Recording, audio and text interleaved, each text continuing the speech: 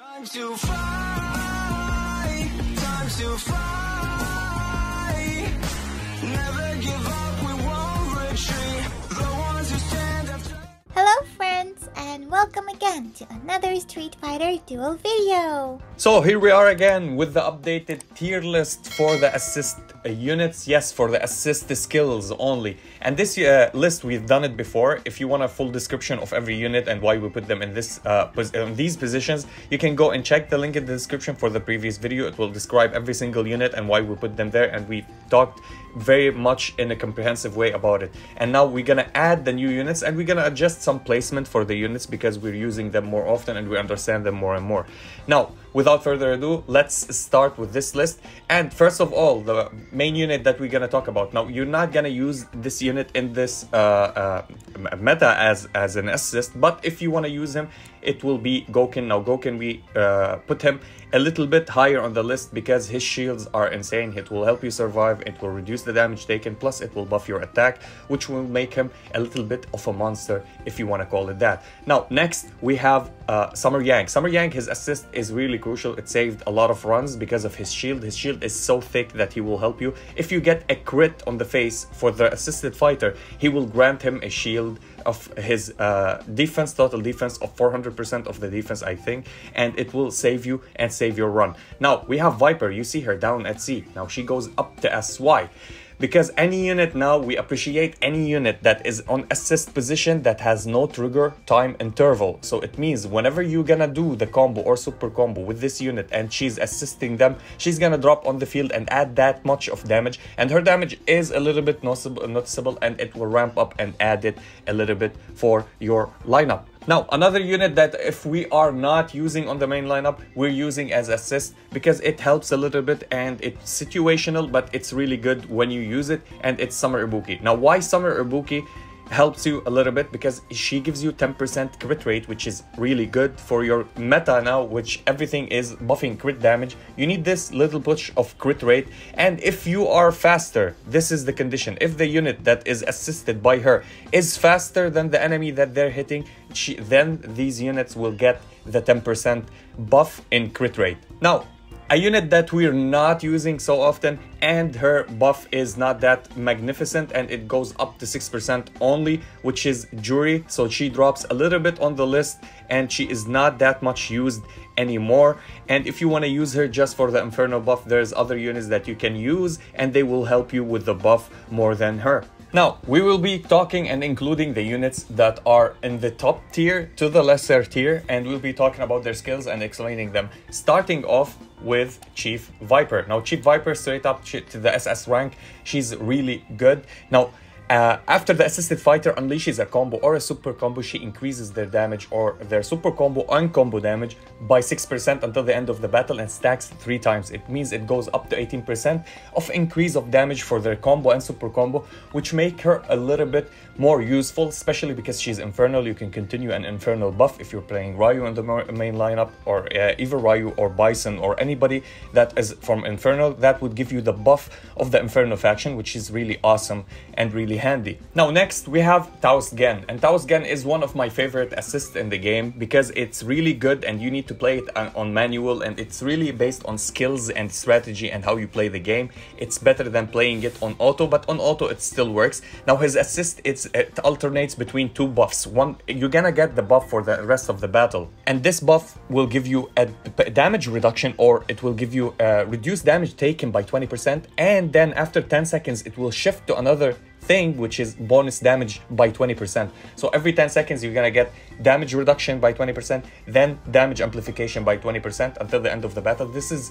really great and it's really good for strategic play, gameplay and to protect yourself but you need to play around it uh, as much as possible. It's a skill-based uh, assist unit, which is really, really good. Next, we'll be talking about the OP unit that they released in the game, which is uh, Schoolgirl Elena. And this Elena is really great with every aspect that they released in the game. But the thing is, there's a catch here. She's a bossing assist unit. When you use her on assist, it's specifically for bossing, because the unit that will be assisted, it will increase the damage of this assisted unit by 20%, only if you're facing one enemy. Even if the bosses are like uh, Nero or Virgil that you're facing and they have three units with them, it will not be affecting or, it will not be applied. You only need to fight one enemy and this enemy will take 20% more damage from that assisted fighter if you're using her on assist, which makes her a really good buffer for bossing units. Now, for Trendy Akuma, and as I said always, every unit that gives you combo meter is really appreciated. And this guy does not only give the assisted unit a combo meter, it will give you, it will fill the combo meter by 60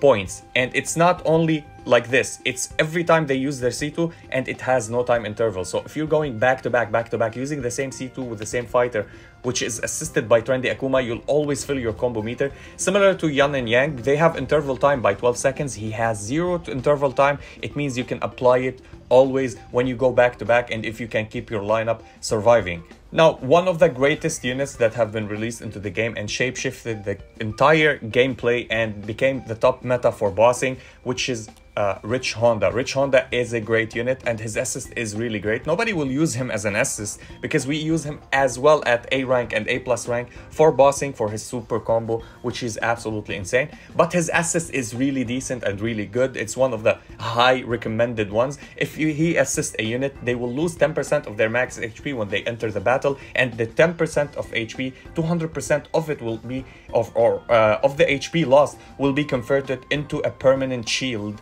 which will protect you and help you throughout the game. It can it can be dispelled, but it can get removed by certain amount of damage. So it's a very defensive, good assist unit. Also, one of the decent assist uh, fighting units with their fighting and uh, and assist it's a trendy guile. Now trendy guile will give you three stacks of sonic saber when you go into the battle and these sonic saber will reduce the da damage reduction that the enemy take or they will ignore defense 5% defense of this enemy for every stack. So 15% ignore defense for the enemy which will make him a good pair if you use him as an assist for somebody dealing damage while using Taoist Gen as a super or using Rich Honda as a super. But because we're not using them with uh, fighters that deal raw damage we're using them with burn comp to amplify the damage with fire Adon don't use him on fire Adon I'm not saying that he's good on fire Adon he's bad on fire Adon because ignoring the damage or ignoring the defense it's for the attacks that he deals physically go and hit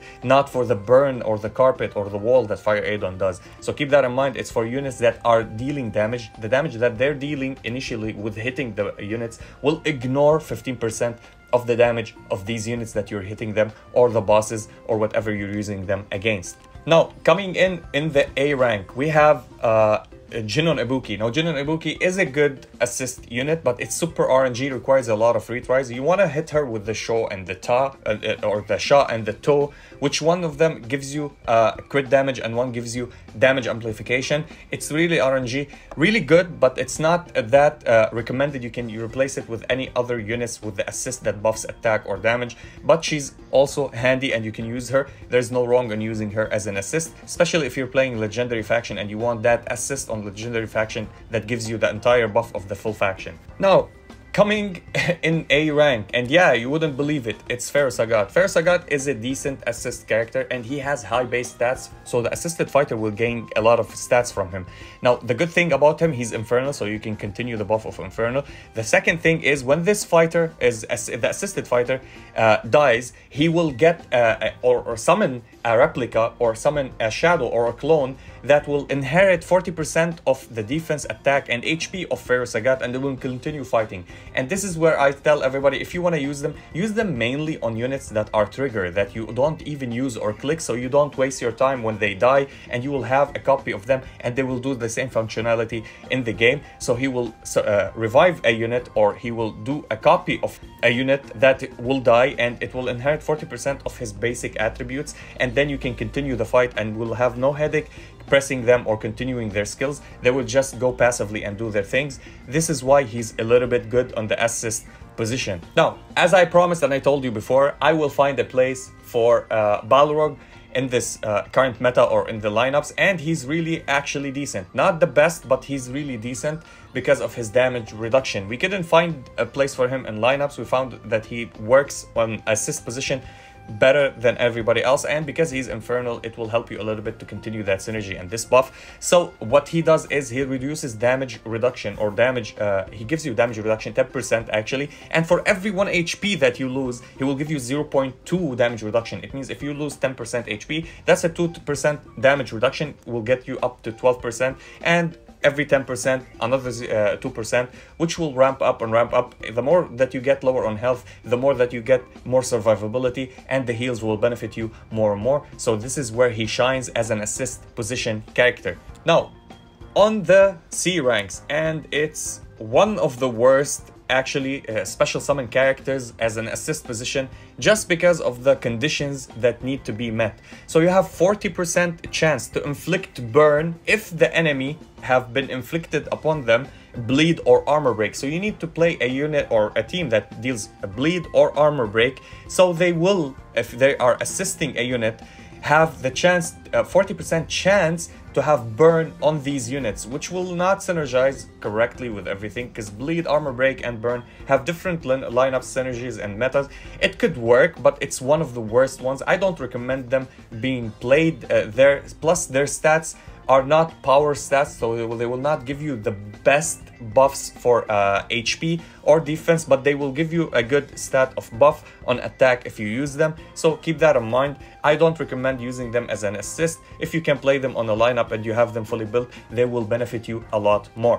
Now, again, similar to Cammy and Vega, uh, Fire Adon has a condition and it's uh, it's not that good actually to play him except if you're playing a fire team and or, or a fire unit uh, especially like somebody like Dhalsim. So if you the assisted thing that he does when the assisted fighter inflict burn like somebody like uh, Dhalsim on the enemy, increase this assisted fighter attack by 10% of Fire Adon attack, not his own attack. And the assisted fighter, usually, you don't want them to give you their attack, you want them to buff you with normal attack of your percentage that you have. So this is why we put him a little bit lower, and nobody actually plays him on an assist position. We normally play him on the lineup because he's a main damage dealer. He's the best damage dealer for, for bossing, for, for even for story mode or whatever you can use him just for his C3, but not for his assist position. Now, coming in, we have Suit Abel. Now, Suit Abel is not the worst assist fighter. He has high stats, but the assist skill that he has is not that helpful, especially with our meta and the deficit that we have in story mode and in tower and versus bossing. So what he does is increase your healing rate by 18% until the end of the battle. Now, healing is not a problem. The problem is when you reach that point that you get one shot no matter what the enemy does is the problem because the healing will not help you survive. The shields might help you, uh, the, the reductions of damage and the increase of defense might heal you, help you, but the healing will not help you, help you a lot. So this is why he comes really in a low tier, but it's still good. It's not that bad, but it's not the meta and not what we're looking for. Maybe early game, mid game, he will be helpful with his assist, but again, play him on the lineup. He will heal you, he will shield you, he will give you more survivability than his assist skill. Next, we have Trendy Dhalsim. Now, as I said, always anything that give you combo meter is highly recommended and really good. But this is one of the slowest uh, assist mechanic to give you combo meter which is every you're gonna get a charge at the start of the battle and this charge after 10 seconds it expires and give you 50 combo meter and every 20 seconds you're gonna get a charge on that assisted fighter and after 10 seconds it means 30 seconds it will expire so it gives you another 50 combo meter, which the battle will take you 90 seconds. So you're gonna have a maximum of two charges or three charges if you survive, which is not really good actually. And we recommend something else. But because he's a master faction, I didn't put him down there. I put him a little bit up because master can complete a, uh, a faction buff that you wanna get. So this is the only thing that will redeem him in this tier list. And finally, we have the last unit of the new units that we have, which is Christmas Rufus, and it's one of the worst mechanics in the game. Not because the mechanic that it, not the mechanic, it's one of the worst timing or percentage in the game. It's a 10% chance. So what he does is you have 10% chance when you attack to inflict chill on the unit, and chill is reduce the reduce of speed is good but it's it counters mainly burn so if you're against burn or flame teams it will reduce the flame damage taken but the thing is about it it's 10% and it has an interval time of 5 seconds so if you miss the interval or you hit very fast with like within four seconds, you miss the chance of the 10% to inflict the chill. 10% is very low. If they made it 25%, I would put him up there in the S rank because it's really helpful for uh, reducing the speed and taking and countering the flame uh, faction. But if you want to counter the flame faction and play him on a main lineup, this will be super helpful. He's highly recommended, but because it's only 10% to give you one chill, not even two stacks, but one stack of chill, this is why it comes very low on the tier list. And that concludes it for our list. We have the two to be determined uh, units, that the units that we are expecting them to drop. Basically, we're gonna have trendy uh, Vega coming into the, the game. We have Seth, we have Strongest Dan, Water Chun-Li, Summer Yun, Yakuza Ken, Yakuza Guy, trendy Honda, Trendy uh, Bison, and uh, boxing champion Balrog. Maybe the, these are the only units that are still left in the game that are uh, uh, uh, within the Street Fighter world, with not outside the Street Fighter world. And the other versions, we have a collab with the Pop Star or something like that, and we have other units uh, that are mythological like Aphrodite, Wukong and something like that. Hopefully maybe they will consider dropping them into the game. But so far these this is the list. Let me know about your opinions about this list. Let me know if you're using somebody else in a different way that I didn't know about or my friends didn't know about when we did this list and it will be so much helpful. And yeah, that was it for the video. If you enjoyed this video, please like and subscribe. If you didn't, we thank you for watching. And as always, Stay frosty. Peace.